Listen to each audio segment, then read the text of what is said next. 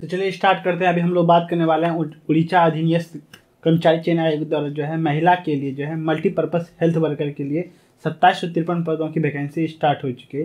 यानी फॉर्म भराना जो है इसका स्टार्ट हो चुका है। इसमें आपको अप्लाई का लिंक कहाँ से मिलेगा? इसमें वाकई में सत्ताईस सौ तिरपन पोस्टों की वैकेंसी है या नहीं है? इसमें फ़ी क्या लगेगा? एज क्या है? मैं सारा चीज़ बताऊँगा। यहाँ तक कि मैं डिस्क्रिप्शन में अप्लाई का लिंक और नोटिफिकेशन का लिंक दोनों का लिंक दे दूँगा। आप डायरेक्ट आके जो है चाहे देख सकते हैं कि वाकई में पोस्ट है या नहीं और फॉर्म किस तरह अप्लाई कर सकते हैं। लेकिन उसके पहले मेरा वीडियो आपको सही लगे, यानी मैंने आपको सही जानकारी दिया है। वीडियो देखने के बाद वीडियो को लाइक कर चैनल सब्सक्राइब कर लेंगे। इससे क्या होगा, आने वाले समय में किसी तरह का अपडेट या किसी तरह वैकेंसी आता है तो सबसे पहले आपको पता चलेगा। तो चले चलते स्क्रीन पर और देखते हैं कि जो उड़ीसा में जो है, महिला के लिए हेल्थ वर्कर के लिए जो वैकेंसी आई है, सत्ताईस सौ तिरपन पदों की इसे आप घर बैठे किस तरह अप्लाई कर सकते हैं? तो सबसे पहले आपको गूगल या कॉम्प्यूटर किसी एक पे जाना है। आने के बाद सर्च सर्च कर लेना है, O triple S C O triple S C लिखे जैसे सर्च कर लेंगे। आप देख सकते हैं ऑफिशियल वेबसाइट पे जो लिंक जो प्रोवाइड कर दिया गया है देख सकते हैं मेंशन करेगा ओडिशा सब और ऑर्डिनेट स्टेट सिलेक्शन कमीशन, इस पर क्लिक करके आपको ओपन कर लेना। जैसे इस पर क्लिक करके ओपन कर लेंगे, आपको हम बताने वाले हैं कि अभी सत्ताईस सौ तिरपन पोस्टों की जो वैकेंसी वाकई में है या नर्सिंग के लिए या नहीं है, और उसका आपका अप्लाई लिंक कहाँ से मिलेगा? डिस्क्रिप्शन में हम नोटिफिकेशन का लिंक, अप्लाई का लिंक, दोनों का लिंक दे देंगे।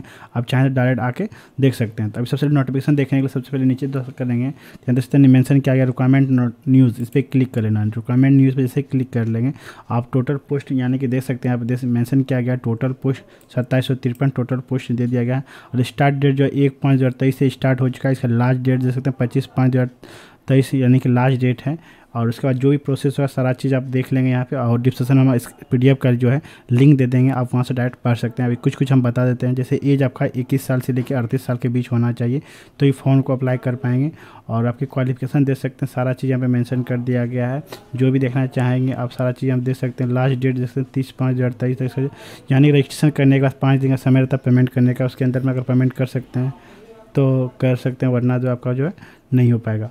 और आपका क्या एग्ज़ाम रहेगा, सारा चीज़ में मैंसन किया, कितना नंबर का एग्ज़ाम रहेगा, सारा चीज़ यहाँ पे दे दिया गया। आपका कैटेगरी के हिसाब से, यानी किस ज़िले में अभी के जो वैकेंसी है, किस कैटेगरी में कितना पोस्ट है, सारा चीज़ यहाँ पे मेंशन कर दिया गया। आप देख सकते हैं।